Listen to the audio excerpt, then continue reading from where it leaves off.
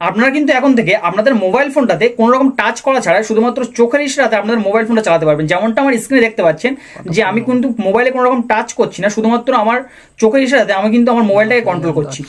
আপনারাও কিন্তু এই সেম কাজটা আপনাদের মোবাইল ফোন থেকে করতে পারবেন। আপনাদের মোবাইল ফোন যতই কম দামি হোক না কেন এটা কিন্তু কোনো ম্যাটার করে না। এই ছোট্ট একটা অ্যাপ্লিকেশন ডাউনলোড করার মাধ্যমে আপনি কিন্তু আপনার মোবাইলটাকে এমন নেক্সট লেভেলে চলে যেতে পারবেন যে কোনো রকম টাচ করতে পারেন শুধুমাত্র চোখের সাথে আপনার মোবাইল ফোনটা কিন্তু কাজ হবে।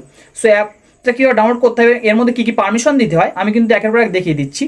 সো কাজটি করার জন্য আপনাদের কি প্রথমে কিন্তু গুগল প্লে স্টোরটা ওপেন করে নিতে হবে এবং ওপেন করে নেওয়ার পর এখানে সার্চ করতে হবে ইভা ফেশাল মাউস এই অ্যাপটা লিখে যখন আপনি সার্চ করবেন, দেখতে পাবেন যে আমরা একটা অ্যাপ্লিকেশন আপনার সামনে শো করছে। এই অ্যাপ্লিকেশনটা কিন্তু আপনারা এখান থেকে ইনস্টল করে নেবেন এবং অ্যাপ্লিকেশনটার লিঙ্ক কিন্তু আমার ডেসক্রিপশন বক্সে থাকবে। সো এখান থেকেও কিন্তু আপনারা ডাউনলোডটা করে নিতে পারেন। সো অ্যাপটা ডাউনলোড হয়ে যাওয়ার পরে আমরা কিন্তু অ্যাপ্লিকেশনটা ওপেন করে নেব।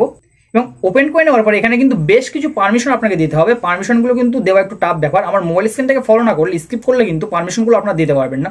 সো স্টেপ বাই স্টেপ আপনাকে ফলো করতে হবে। তো ফার্স্ট আপনাকে এখান থেকে ক্যামেরা পারমিশনটা দিতে হবে। কেননা ক্যামেরা পারমিশনটা যদি আপনি না দেন, তাহলে কিন্তু আপনার ফেসটা ট্র্যাক করতে পারবে না। ফেস ট্র্যাক করবে এবং তারপর কিন্তু আপনার মাউস অনুযায়ী আপনি যেখানেই মাউসটা রাখবেন, সেখানেই কিন্তু কাজ হবে।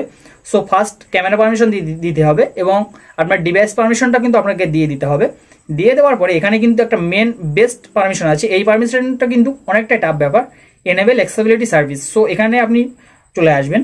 এবং তারপরে আপনাকে একটু নিচের দিকে স্ক্রল ডাউন করতে হবে। নিচের দিকে আসলে আপনি দেখতে পাবেন লার্জ মাউস পয়েন্টার আছে। সো এই অপশনটা কিন্তু আপনি এনেবেল করে দেবেন এবং এরপরে আপনি নিচের দিকে দেখতে পাবেন যে ইভা ফেশিয়াল মাউস প্রো আছে। এই অপশনের মধ্যে আপনি আসবেন। আসার পরে আপনাকে ইভা ফেশিয়াল মাউস প্রো এই যে অপশনটা আছে, এটা কিন্তু আপনাকে এনেবেল করে দিতে হবে। ওকে করবেন আপনি। ওকে করার পর ইউজ রিকমেন্ডেড করবেন। এবং তারপরে কিন্তু নেক্সট করবেন আপনি একের পর এক। দেখতে পাচ্ছেন যে আমি নেক্সট দিচ্ছি। সাথে সাথে কিন্তু আমার ক্যামেরাটা এখানে ওপেন হয়ে গেছে। এবং ক্যামেরাটা ওপেন হয়ে যাওয়ার পরে আমাকে কিন্তু নেক্সট অপশনে আবার ক্লিক করতে হবে। নেক্সট অপশানে আবার ক্লিক করব। দেখতে পাচ্ছেন, এবার কিন্তু আমার ফেস ট্র্যাক হচ্ছে। আমি ফেস যেমনভাবে মুভ করছি, ঠিক তেমনভাবে কিন্তু মাউজের এই যে দাগটা আছে, এটা কিন্তু মুভ হচ্ছে। সো আমি বারবার নেক্সট অপশানে ক্লিক করতে যাব এবং এখান থেকে কিন্তু যে ডিফল্টগুলো আছে, এগুলো কিন্তু আমি প্রতিটা কিন্তু হাই করে দেবো। হাই ফাইভ করে দেবো। দেখতেন দেখেন যে প্রতিবার কিন্তু এগুলো শো করছে, আমি প্রতিবার কিন্তু হাই ফাইভ করে দেবো। কেননা এটা কিন্তু একটু হাই রেজলিউশন না হলে কিন্তু ভালো হবে না। সো এই কাজটা আমাকে করে দিতে হবে। নেক্সট অপশনে ক্লিক করব। এবার এবার কিন্তু আমার যে কাজগুলো করতে হচ্ছে, সবগুলো কিন্তু আমার মাউসের দ্বারা করতে হবে।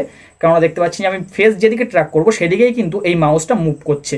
তো আপনি দেখতে পাচ্ছেন যে এখানে আমার ফেসটা শো করছে। ফেসের যে কাজ, সেটা হলো যে আমি যেদিকে, এরকমভাবে মুভ করব, ঠিক নিচের দিকে চলে আসবে ওপর দিকে করলে যেমনটা কিবোর্ডের মাউসে হয়ে থাকে, এই যে আপনি দেখতে পাচ্ছেন আমার একটা মাউস আছে। মাউসে কিন্তু আপনি জানেন যে এখানে কিন্তু একটা সেন্সর থাকে। এই সেন্সরটা কিন্তু আমাদের কাজ করে যে আমরা যেদিকে মুভ করি, সেদিকে কিন্তু আমাদের পয়েন্টটা নিয়ে যায়। সো এটার ক্ষেত্রে একটা ব্যাপার হচ্ছে যে, যেটা আপনি ওপেন করতে চান, যে অ্যাপটা দেখতে পাচ্ছেন, সমস্ত পারমিশনগুলো এখানে একের পরে আমি দিয়ে দিয়েছি।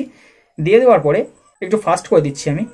দেওয়ার পর দেখতে পাচ্ছেন যে এখান থেকে আমি কিন্তু আমার ফেসবুকটা ওপেন করব। ফেসবুকের উপরে যখন আমি নিয়ে আসব, দেখতে পাচ্ছেন একটুখানি হোল্ড করতে হবে আমার। হোল্ড করার সাথে সাথে কিন্তু আমার ফেসবুকটা ওপেন হয়ে যাবে। এবং ফেসবুক ওপেন করার পরে আপনি নিচের দিকে আসছেন তো নিচে একটা টির মার দিয়েছে। এখানে যদি আপনি ক্লিক করেন, এরকমভাবে নিচের দিকে নিয়ে দাঁড়িয়ে থাকেন, তাহলে কিন্তু পরপর একের পর এক স্ক্রল হবে। এখানে দেখতে পাচ্ছেন যে মেনু আছে। মেনুতেও আপনি গেলে প্রচুর কিছু পেয়ে যাবেন সেটিং সো এইভাবে কিন্তু এই অ্যাপটা আপনার ইনস্টল করার মাধ্যমে আপনার স্মার্টফোনটাকে আপনি নেক্সট লেভেলে নিয়ে যেতে পারবেন। সো আজকের ভিডিও এই পর্যন্ত অ্যাপটা বিষয় আপনি আগে থেকে জানতেন কিনা, অবশ্যই আমাকে কমেন্ট বক্সে জানাবেন এবং যদি চ্যানেলে প্রথম বেশি থাকেন চ্যানেলটা সাবস্ক্রাইব করবেন। দেখা হয় পরবর্তী কোনো ভিডিওতে ততক্ষণ জন্য ভালো থাকবেন সবাই, সুস্থ থাকবেন সবাই, আল্লাহ হাফিজ।